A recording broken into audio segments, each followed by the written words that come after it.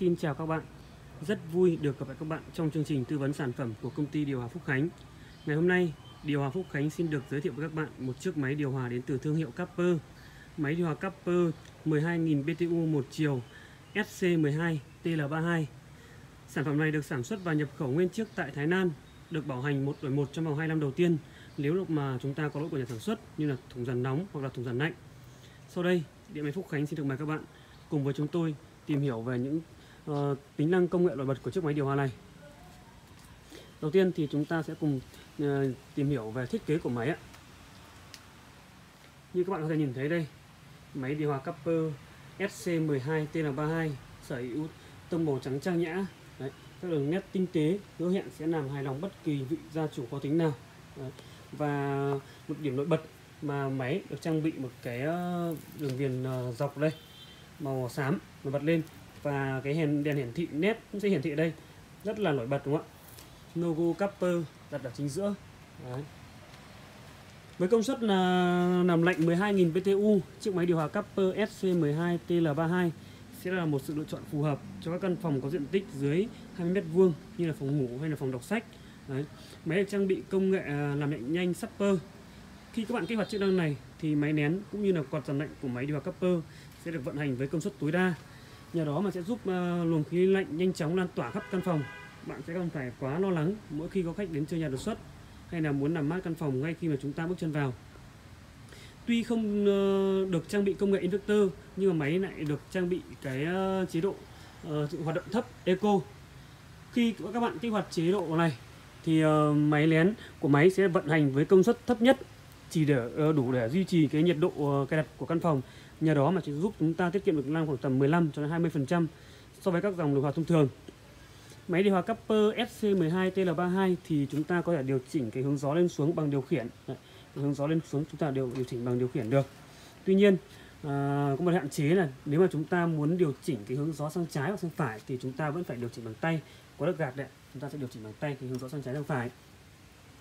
Mặt bên dưới của mặt lạnh thì có số tổng đài hotline của Capper 1800 6644 giúp các bạn có thể dễ dàng liên hệ với tổng đài của Capper khi mà chúng ta gặp sự cố hay là cần hỗ trợ thêm thông tin gì. Dàn lạnh của máy thì được thiết kế nguyên khối giúp ờ, giảm thiểu 50% cái thời gian lắp đặt. Đồng thời thì cũng sẽ giúp máy hoạt động êm hơn, và hạn chế tiếng ồn trong quá trình vận hành.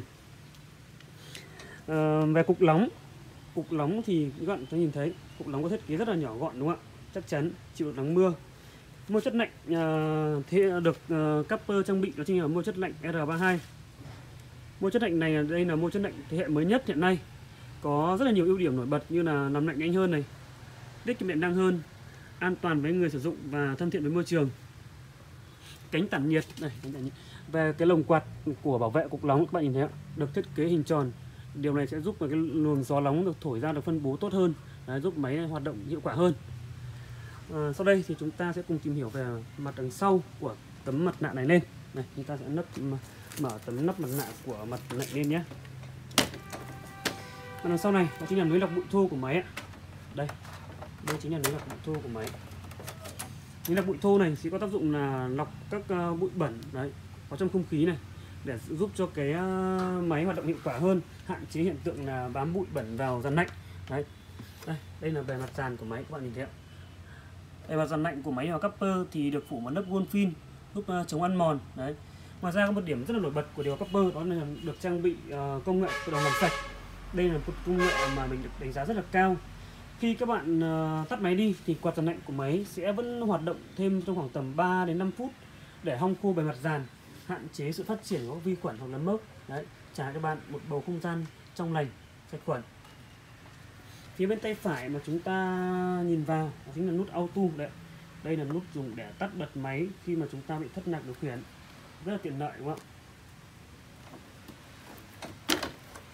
Um, đây về cục lóng. Cục lóng tiếp chúng ta nói sẽ biết cục lóng. Uh, gian tản nhiệt của cục lóng thì được sử dụng gàn đồng 100% nguyên chất.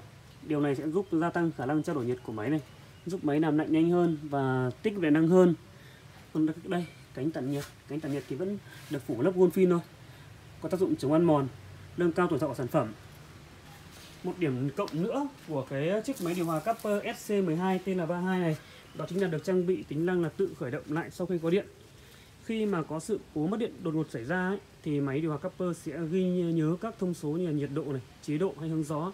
Sau khi có điện trở lại thì máy sẽ tự động thiết lập các chế độ đó mà không cần đến sự can thiệp của người sử dụng. Về phụ kiện đi kèm cơ máy thì sẽ có là một cuộn băng cuốn này, à, 3 mét ống nước này.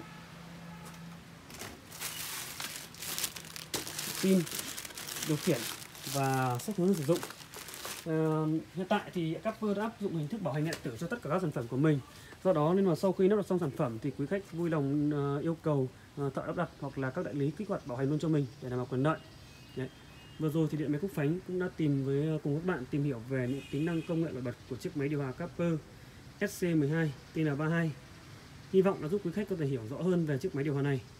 Nếu quý khách có nhu cầu tư vấn hoặc là hỗ trợ thêm thông tin, vui lòng liên hệ hotline là 0904 755 838 0862 685 838 hoặc truy cập website điện máy phúc khánh vn. Còn bây giờ, xin chào và hẹn gặp lại.